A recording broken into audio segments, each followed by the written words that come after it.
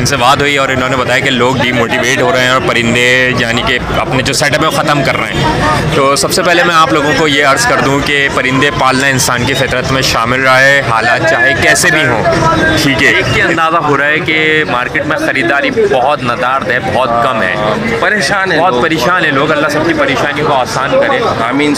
हाँ हम सब लोगों ने जो परिंदे पाले एक होता है शौक और एक होता है कि चलो शौक से एक आमदनी हो रही है। जा रहा हूँ कि शायद मुस्तकबिल में शाह साहब से एक डिस्कशन चल रहा था। शाह साहब का एक दूसरा चैनल है। कौन सा नाम क्या है उसका? एक तो एबिलिटी टीवी है और एक शाह नुसरत ऑफिशियल है। शाह नुसरत ऑफिशियल तो आप उन दोनों चैनल को सब्सक्राइब करें। इन हम दोनों मिलके उसी के ऊपर कुछ ऐसे कंटेंट लेकर आने वाले हैं कि जो लोगों की यानी कि, कि समझे कि कुछ जैसे बजरी है। फिंचीज है कॉकटेल है फिशर है तो ये आम पब्लिक पाल कर जाल वालों को दे देती है। जाल वालों का फ़ायदा हो जाता है। आम पब्लिक का तो कुछ भी नहीं मिलता। देखिए मैंने शुरू से यही मौक़ रखा कि जाल के ऊपर जो आप परिंदा देते हैं आप समझें कि आप परिंदा नहीं पाल रहे हैं किसी की नौकरी कर रहे हैं यानी कि वो एक बिज़नेस का पॉइंट ऑफ़ व्यू बनाया हुआ था लोगों ने। सही है तो ये बन गया पॉन्जी स्कीम आखिरी यूज़र डसा गया। लोगों ने जो चीज़ समझे कि हज़ार की थी वो दो दो ढाई हज़ार की बेचना स्टार्ट कर दी। बाकी अल्लाह पाक रहम करे। तो मैं तो अब भी यही बोलूँगा कि लोग परिंदे पालना ना छोड़ें इससे डीमोटिवेट ना हो। परिंदे पालें अपने शौक के लिए पालें एक पेयर पाल लें दो पेयर पाल लें पालें। ऐसा ना करें कि आप पूरे पूरे सेटअप ही ख़त्म कर दें।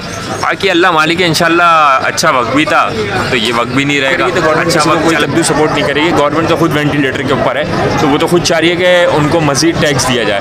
तो उन्होंने दाने के ऊपर टैक्स ठोका यानी कि इम्पोर्ट कीमत में। अब ये जो काम है ये जो पूरी लालू खेत मार्केट है ये मैं आपको दिखाऊँ। यहाँ पे जितनी भी खरीदो फरोख्त हो रही है बगैर किसी दोस्तों उम्मीद है कि आप लोग सब खैरियत से होंगे। भाई मैं इस वक्त हूँ लालू खेत बर्ड्स मार्केट में। देखें पीछे बहुत ज़्यादा रश है और मैंने वीडियो का स्टार्ट ही यहीं से ले लिया है क्योंकि तोहीद मस्जिद की ये दीवार है ये बहुत ज़्यादा मशहूर दीवार है। तोहीद मस्जिद के पास सारे फिंचीज़ वाले खड़े होते हैं और ये हमारे प्यारे से भाई जोएब भाई खड़े हुए हैं और ये भी एग्जॉक्टिक फिंचीज़ पे ही काम करते हैं। बहुत ज़्यादा पसंद है और बहुत ज़्यादा वाइल्ड लाइफ पे काम करते हैं। आपको पता है मेरी हर वीडियो में मैं कोशिश करता हूँ कि जोएब भाई को लेकर आऊँ। खासा तजर्बा है जोएब भाई का। आप लोग डीमोटिवेट क्यों हो रहे हैं परिंदे पालने से? और मैं जोएब भाई से थोड़ा इनको अ, अकेले मीटिंग की मैंने कहा कि भाई थोड़ा सा मोटिवेशन दे दें लोगों को। तो बात कर लेते हैं जोएब भाई से कि जोएब भाई का क्या कहना है कि परिंदे पालने से जो लोग परेशान हो गए और वो बेच रहे हैं और फिर ख़त्म कर रहे हैं दूसरा कारोबार करने की कोशिश कर रहे हैं। क्या ये कारोबार करने के लिए परिंदे होते हैं या हॉबी करने के लिए होते हैं? क्या सिलसिला होता है? बात कर लेते हैं। अस्सलाम वालेकुम सलाम क्या हाल है? नुसरत साहब। मैं ठीक हूँ। अच्छा देखें जी जैसे कि इनसे बात हुई और इन्होंने बताया कि लोग डीमोटिवेट हो रहे हैं और परिंदे यानी कि अपने जो सेटअप है वो ख़त्म कर रहे हैं। तो सबसे पहले मैं आप लोगों को ये अर्ज़ कर दूँ कि परिंदे पालना इंसान की फितरत में शामिल रहा है हालात चाहे कैसे भी हों। ठीक है इंसान ने परिंदे पाले हैं क्योंकि इंसान की फितरत में शामिल रहा। आ, मैं आपको इसकी चंद थोड़ी सी मिसालें देता हूँ कि हमारे जो बुज़ुर्ग थे जो भी हमारे दादा थे परदादा थे सबके अपने अपने उन्होंने भी परिंदे पाले अपने वक्त के हिसाब से पाले ठीक है मिट्ठू बेटे पालते होंगे कबूतर पालते होंगे मुर्गियाँ पालते होंगे और चिड़ियाँ पालते होंगे। इसी तरीके से अब मैं एक और मिसाल देता हूँ अफ़गानिस्तान सीरिया फ़लस्तीन और आपके यूक्रेन में। इन चार ममालिक के जो अभी रिसेंट मॉडर्न टाइम के अंदर जो जंगें हुई, जंग जंग चली वार हो रहे थे वहाँ पे, उस वक्त भी वहाँ लोग परिंदों से रबगत रख रहे थे, परिंदे पाल रहे थे। यहाँ डीमोटिवेट होने का क्या मकसद है या क्या इसकी वजूहत है, ये मैं थोड़ा सा बयान कर दूँ। कि लोगों ने जो परिंदे पाले, एक होता है शौक और एक होता है कि चलो शौक से एक आमदनी हो रही है। फिर इसी की दूसरी जो तह या इसका जो दूसरा रुख है, लोगों ने इसको कारोबार बना लिया, ठीक है? अब मैं आपको इसकी मिसाल ऐसे देता हूँ कि जैसे ये मेरे गिलासेस हैं, ठीक है? ये समझे कि चाइना से मंगाए तीस रुपए के, ठीक है? मैंने तीस रुपये मंगाए, शाह साहब को मैंने पैंतीस रुपये के बेचे, सही है? अब मैंने फिर तीस रुपये का मंगा लिया, शाह साहब ने फिर पैंतीस रुपये का ख़रीद लिया, आगे उन्होंने चालीस रुपए का बेच दिया। अब क्या हुआ? मैंने कहा, शाह साहब को मैं चालीस का बेचता हूँ। शाह साहब ने आगे पचास का बेचना शुरू करा। मार्केट में ये अभी कम है। अभी आया नहीं है। मैं ही एक इम्पोर्टर बैठा हूँ। बात को गौर से समझिएगा, ठीक है ना? मैं ही एक इम्पोर्टर बैठा हूँ। तो मैंने अपनी मर्ज़ी के रेट से ये बेचना शुरू किया। शाह साहब ने भी आगे बेचना शुरू किया। मार्केट में ये घूमना शुरू हुआ। अच्छा ये ग्लासेस हैं, सही है? हम इंपोर्ट कराते रहे, टूटते रहेंगे, गिरते रहेंगे। मेरा तो छिना था मुझे आज तक अफसोस है सुबह सुबह सुबह मुझे दुबई से एक पार्सल आया था। बड़े अच्छे गिलासेस थे। मैंने दोपहर के दो बजे पहने और रात के साढ़े बारह बजे वो मेरे से मेरे घर के गेट से 2019 में छिन गए थे। सही है। गिलासेस छिन गए थे। मुझे मोबाइल छिनने का इतना अफसोस नहीं था जितना मेरे वो गिलासेस छिनने का अफसोस रहा। सही बात है। बात को किसी और रुख पे जा रही है। बहरहाल फिर से आते हैं अपने मुद्दे के ऊपर। मुद्दा ये है कि भाई ये गिलासेस हैं। सही है। टूटेंगे भी गुम भी होंगे या ख़राब होंगे हम दूसरे ले लेंगे। मगर जब परिंदों की बात आती है ना तो परिंदों में ये होता है कि परिंदे कम नहीं हो रहे परिंदे बढ़ रहे हैं। बढ़ रहे हैं। सही है ना? बढ़ रहा है। मैंने शाह साहब को दो पेयर दिए। शाह साहब ने दो पेयर से दस पेयर बना लिए। चले दस भी ना सही चार पेयर बना लिए। आगे उन्होंने किसी को दो पेयर दिए फिर उसने चार बना लिए। तो आप इस तरीके से समझ सोचें कि मिस्टर ए से लेके मिस्टर जेड तक दो पेयर जो घूमते घूमते वो चार छः आठ दस बारह बढ़ते चले गए बढ़ते चले गए। उनकी आखिर में मार्केट कहाँ रह गई? अब ये ऐसी चीज़ तो है नहीं कि इसको खा लिया कंज्यूम हो गई। इसका एंड यूज़ क्या है? तो ये बन गया पॉन्जी स्कीम आखिरी यूज़र डसा गया। लोगों ने जो चीज़ समझे कि हज़ार की थी, वो दो दो ढाई हज़ार की बेचना स्टार्ट कर दी। बहरहाल उसकी वजह से ये मार्केट पे इम्पैक्ट आया। फिर दाने की बढ़ती हुई सूरत हाल परिंदों का एक्सपोर्ट ना होना। दाने के रेट की बढ़ती हुई हाँ हाँ, हाँ। दाने के रेट की बढ़ती हुई सूरत हाल परिंदों का एक्सपोर्ट ना होना। और अगर कोई समझता है कि गवर्नमेंट इस पर सपोर्ट करेगी तो गवर्नमेंट किसी को कोई कद्दू सपोर्ट नहीं करेगी। गवर्नमेंट तो खुद वेंटिलेटर के ऊपर है तो वो तो खुद चाह रही है कि उनको मजीद टैक्स दिया जाए। हाँ। तो उन्होंने दाने के ऊपर टैक्स ठोका यानी कि इम्पोर्ट कीमत में। अब ये जो काम है ये जो पूरी लालू खेत मार्केट है ये मैं आपको दिखाऊँ।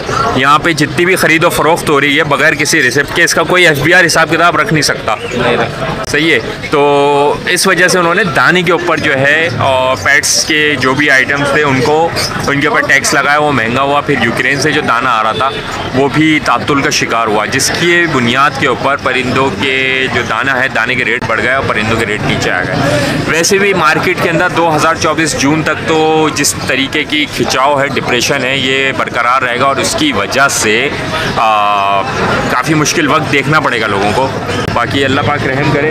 तो मैं तो अब भी यही बोलूँगा कि लोग परिंदे पालना ना छोड़ें इससे डीमोटिवेट ना हो परिंदे पालें अपने शौक़ के लिए पालें एक पेयर पाल लें दो पेयर पाल लें पालें। ऐसा ना करें कि आप पूरे पूरे सेटअप ही ख़त्म कर दें। बाकी अल्लाह मालिक है इनशाला अच्छा वक्त भी था तो ये वक्त भी नहीं रहेगा। अच्छा वक्त चला गया तो बुरा वक्त भी चला जाएगा। कोई अच्छा, भाई एक बात कहना चाहूँगा लोग आ, पहले ये सोच रहे थे यार हम शौक़ में परिंदे पाल रहे हैं। फिर आहिस्ता आहिस्ता क्योंकि आपने एक बात कही ना कि ये मल्टीप्लाई होता है बढ़ते हैं। ठीक है तो हर बंदे की ख्वाहिश होती है यार ये अच्छा बर्ड है रेट अच्छे दे जाएगा। लेकिन जब लोग बर्ड्स पालना शुरू किया लोगों ने शौक में तो उन्होंने बिज़नेस बना लिया। बिज़नेस बना लिया। बिज़नेस बनाने के बाद माशाल्लाह माशाल्लाह से ऐसे भी अफराद मेरे नज़र में आपकी नज़र में भी होंगे जिन्होंने अपने बंगले तक बनाए। और बिल्डिंगें तक बनाई कारें खरीदी माशाल्लाह से। ठीक है इकनॉमी बहुत मज़बूत थी और टैक्स भी दे रहे थे गवर्नमेंट को। ऐसी बात नहीं कि वो टैक्स नहीं दे रहे थे टैक्स भी दे रहे थे।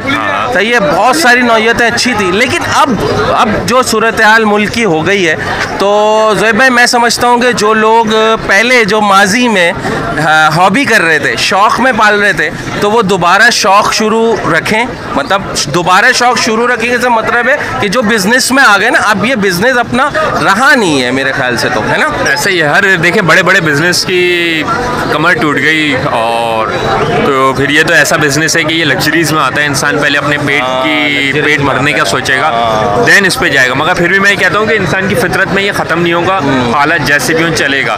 चाहे कुछ भी करे इंसान अपने पास जो है एक परिंदा रखेगा जिसके पालने का शौक होगा। ज़रूरी नहीं कि हर कोई पाले। तो बहरहाल जब तक ये वक्त चल रहा है उसको घसीटें।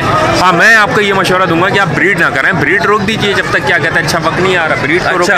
हाँ अपने तो पास परिंदा तो बुढ़ा हो जाएगा। तो बुढ़े बुढ़ा नहीं होता परिंदा। परिंदे को अच्छी के साथ है परिंदा कभी भी बुढ़ा नहीं होगा। हाँ बल्कि और अच्छा हो जाएगा परिंदा अच्छा जब ब्रीड नहीं करेगा खुले के इनहांस हो जाएगा खूबसूरत हो जाएगा। बिल्कुल। तो इसी तरह यही है। भाई मैंने कोशिश की कि बहुत सारे लोग डीमोटिवेट हो गए थे और दाना इतना महँगा हो गया है परिंदे कैसे पाले? फार्मूला दे दिया है। और आपको ये बताने का मकसद है जोएब भाई अच्छा बोलते हैं परिंदों की ज़्यादातर जो है इनको खसूसियात पता होती हैं उनकी जेनेटिक्स पता होते हैं वो वो क्या पसंद करता है ये पता होता है। तो ये माशाल्लाह से कितने साल का तजर्बा हो गया भाई या, याद नहीं मुझे मैं तो बचपन से पाल बचपन से रहा है। 1994 से। ओए होए 1994 और अब लगा ले तो बहुत साल हो गए। 30 और होने वाले 30 शायद। साल होने वाले हैं तो 30 साल का तजर्बा कम नहीं होता।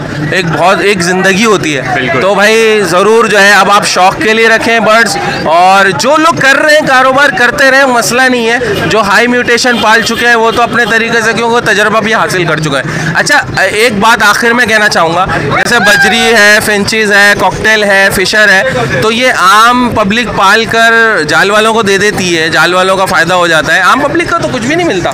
देखिए मैंने शुरू से यही मौकफ रखा कि जाल के ऊपर जो आप परिंदा देते हैं आप समझें कि आप परिंदा नहीं पाल रहे हैं किसी की नौकरी कर रहे हैं यानी कि वो एक बिज़नेस का पॉइंट ऑफ़ व्यू बनाया हुआ था लोगों ने। सही अच्छी बात है परिंदा बिक रहा है ओपन मार्केट में। देखिए अच्छे रेट मगर बात ये अभी भी एक साहब से बात हो रही थी जाल के रेट बहुत असरअंदाज होते हैं मार्केट के ऊपर। अभी फिंच का रेट जाल के ऊपर अगर बढ़ जाए ना 1200 पे आ जाए नॉर्मल कॉमन फिंच का। तो बाकी जो म्यूटिशंस हैं उनके रेट भी खुद ब खुद बढ़ जाएँगे मार्केट के अंदर एक हलचल मच जाएगी। ठीक है? और जाल के रेट बड़े असरअंदाज होते हैं। जाल को बस इस इस हवाले से नेगलेक्ट नहीं कर सकते। मगर मैं समझता हूँ कि जाल के ऊपर जब भी रेट बढ़े ना उस वक्त कभी भी इन लोगों को जो है आप आ, अपना परिंदा अपनी मेहनत ना बेचें। ना बेचे। ना बेचे। क्योंकि अगर आप दो पैसे की खातिर इनको बेचते हैं ना तो बात ये हो जाती है कि फिर ये वक्ती फ़ायदा उठाते हैं। फिर ये आज जिस हालत में ये पूरी मार्केट खड़ी हुई है, काफ़ी देर से मैं मार्केट में था, मार्केट देखने आया था। और वैसे भी पता है कि इतवार के दिन मैं बहुत कम मार्केट आता हूँ। ज़्यादातर मेरा कराची से बाहर गुजरता है इतवार। मगर देख के अंदाज़ा हो रहा है कि मार्केट में ख़रीदारी बहुत नदारद है बहुत कम है। परेशान है बहुत परेशान है लोग अल्लाह सबकी परेशानी को आसान करे। आमीन सुम्मा हाँ। हम सब एक रीढ़ की हड्डी हैं। अच्छा मैं एक और चीज़ कहना चाह रहा हूँ कि शाह मुस्तकबिल में शाह साहब से एक डिस्कशन चल रहा था। शाह साहब का एक दूसरा चैनल है। कौन सा नाम क्या है उसका? एक तो एबिलिटी टीवी है और एक शाह नुसरत ऑफिशियल है। शाह नुसरत ऑफिशियल तो आप उन दोनों चैनल को सब्सक्राइब करें। इन हम दोनों मिलके उसी के ऊपर कुछ ऐसे कंटेंट लेकर आने वाले हैं। कि जो लोगों की यानी कि, कि समझे कि कुछ उसको कैसे डिफाइन करो। लोगों के फ़ायदा होगा ना उसकी उनको एक तरीके सिखाए जाएँगे क्या कहते हैं कि किस तरीके से आप अच्छी ज़िंदगी गुजार सकते हैं। ठीक है? चले भाई। हाँ ये ही कि पैसे कमाने की बात कर रहा हूँ या किसी से पैसे को कुछ नहीं। अगर आप किस तरीके से जो है अच्छी ज़िंदगी या हो सकता है कि आपको वो कंटेंट देख के अंदाज़ हो कि आप बहुत अच्छी ज़िंदगी गुजार रहे हैं किसी और की बानस्बत ठीक है? है। हम कुछ ऐसी इस माशरे के पहलू और हिडन चीज़ें दिखाने की कोशिश करेंगे जो लोगों की नज़र से आज तक ओझल रही हैं। ओ माशाल्लाह। हाँ कोशिश करेंगे ज़बरदस्त। ठीक है? जैब भाई ने ये मुझे सरप्राइज़ दिया मुझे भी नहीं पता था ये बात करने वाले। तो आप लोगों के सामने ही कर दी। तो birds collection Karachi YouTube channel को सब्सक्राइब करें और ये वाली वीडियो को ज़रूर शेयर करें ताकि लोगों को जो है मोटिवेशन मिले कि कैसे क्या तरीके कार है परिंदे पालने का। परिंदे ज़रूर पालें यार। परिंदा एक जो है ना एक मतलब मीरास है। ये हमारे साथ जुड़ा हुआ है। मैंने तो नेक्स्ट वीडियो में किसी अच्छी मालूम के साथ मुझे दीजिए अल्लाह हाफिज़ अल्लाह के बाद